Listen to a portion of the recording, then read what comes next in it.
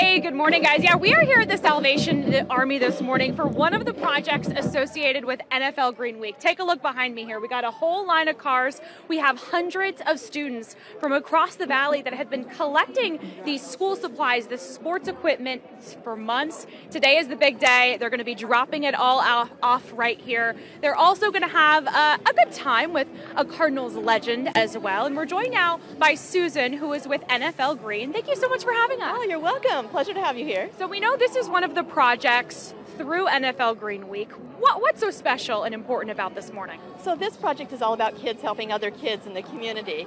So we have hundreds of kids coming in today from about 60 schools and 11 YMCA's.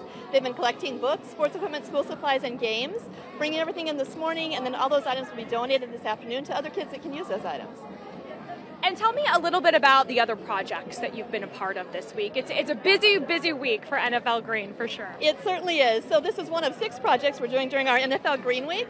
We uh, did a big restoration project on the Lower Salt River to clean up debris there and also remove an invasive species of apple snail along with some special ops military veterans and hundreds of volunteers. We've been planting trees, we've been doing pollinator projects and habitat restoration projects. And then Super Kids Today is one of our, actually one of our favorite projects because the kids get so excited about being here and knowing they're making a difference.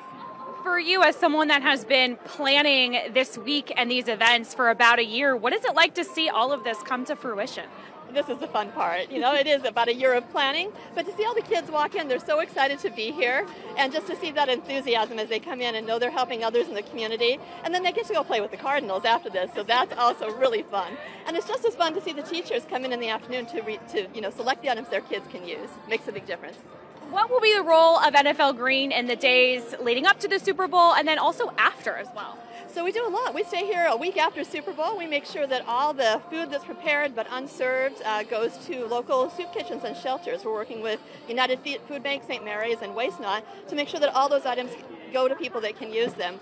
You'll also see a lot of decor and build out around Super Bowl, and all of those items are repurposed after the event, which is really pretty unique for an event to do that.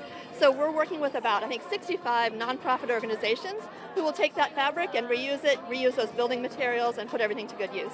All right, Susan, thank you so much. I know you live in New England and you've been traveling out here a lot. What do you what do you think of Phoenix and our weather this time of year? I love the sunshine. it's a little cool, but a little warmer than New England and a lot more sunshine this time of year, so we're enjoying it. A lot less snow as well. But Definitely it, less snow. I, will I'll, I'll take this. This is right. great. Susan, thank you so much. So again, we are uh, taking a look at this just massive event. Again, this is really the work of so many students uh, throughout the entire year. They have been collecting these supplies, and I think, you know, when you talk about the Super Bowl, you think about the big game, you think about the actual football game, but uh, there really are so many other things um, to do. Hi, how are you guys doing? We're on 3TV right now.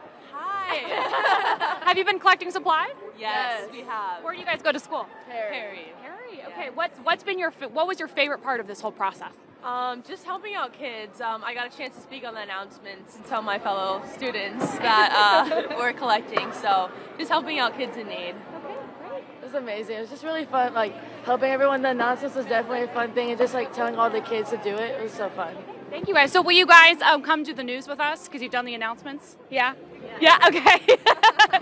Thank you guys so much. Have a good one. So again, this is uh, happening all the Salvation Army down here in Phoenix. Uh, those school supplies collected by kids and students in our area, and they'll go back to kids in our area as well. For now, I'll send it back to you guys. Such a cool experience. That's really great. Yeah. Love that. Thank, Thank you, you, Whitney. Whitney.